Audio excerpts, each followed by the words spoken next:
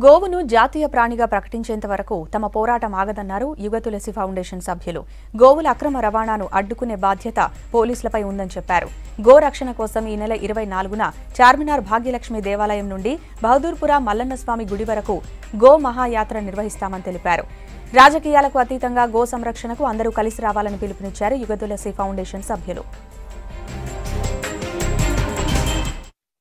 అందరూ కూడా ఈరోజు ముక్త కంఠంతో గోమాతని బ్రతికించుకోవడానికి కోసం రోడ్లపైకి వచ్చేటువంటి పరిస్థితి ఏర్పడిందంటే కేవలం రాష్ట్ర ప్రభుత్వం కేంద్ర ప్రభుత్వం పైన ఒక ఒత్తిడి తీసుకొచ్చి మా ప్రధానమైనటువంటి డిమాండ్ గోవుని జాతీయ ప్రాణిగా ప్ర- ప్రకటించాలి. తెలంగాణలో నడుస్తున్నటువంటి అక్రమ కబేలాలు పూర్తిగా మూసివేయాలి. ఎట్టి పరిస్థితిలో ఒక్క గోమాత కూడా కషాయవాణి చేతికి వెళ్ళకూడదన్నటువంటి ఒకే ఒక సంకల్పంతో మేము ఈ కార్యక్రమాలు తీసుకున్నాం. ఎంతో శాంతియుతంగా చేయాల్సినటువంటి ఈ కార్యక్రమాల్ని పోలీస్ వారే అతి ఉత్సాహం చూపించి ఈ రోజు హిందువులే కాకుండా ఒక మూగ జీవుల్ని రక్షించడానికి కోసం ఎంతో మంది సివిలియన్స్ వాళ్ళు కూడా ముందుకు వస్తుంటే వారందరినీ కూడా మొన్న జరిగినటువంటి సడక్ బంద్ కార్యక్రమాల్లో అరెస్ట్ చేసి కొన్ని గంటల సేపు చుట్టుపక్కల ప్రాంతాల్లో తిప్పి చివరికి ఊరు అవతల ఉన్నటువంటి పోలీస్ స్టేషన్లో పెట్టి చాలా ఇబ్బంది గురి చేసినటువంటి పరిస్థితి. చాలా ఆశ్చర్యం అనిపిస్తుంది. పోలీస్ వారు